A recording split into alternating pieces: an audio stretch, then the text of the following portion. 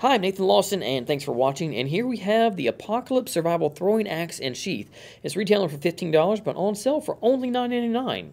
Now, this thing seems pretty heavy duty. The Apocalypse Survival Throwing Axe will surely take care of any zombie that comes your way. Now, it's constructed of one solid piece. That's a solid piece of black-coated stainless steel, uh, stainless steel, and it's crafted with a heavy sawback design. Now, a nylon cord-wrapped handle is easy to grip, and it aids in throwing accuracy.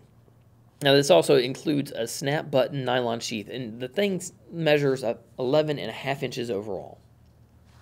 Now of course, I mean you see a lot of detail on the back of the you know the actual box. One solid piece of stainless steel nylon cord wrapped handle and of course it does have uh, the sheath that comes along with it. It's got a really interesting finger hole. I mean so you, if you're I don't know exactly how you'd be able to wield it around like a katana but it might just simply be there just for handling when you're trying to throw it, as in, but it doesn't necessarily uh, leave your hand. But of course, you know, this is, and we even say it on the box, this is an actual throwing axe. So you're actually meant to throw it. I think that the way that it is constructed, you've got a lot of different entry points.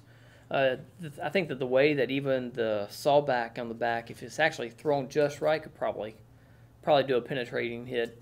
Of course, you got this huge, huge blade here. So obviously this is the main point, and it does come, it is very sharp. It does feel like it's got some pretty good um, sharpness to it. So, But the thing is, a, it is a throwing axe. So usually throwing blades, actually the blades themselves are not very dull or sharp. They're usually dull because it's meant for the force and the rotation of the blade being thrown is actually what does the penetration, and that's what actually does the force.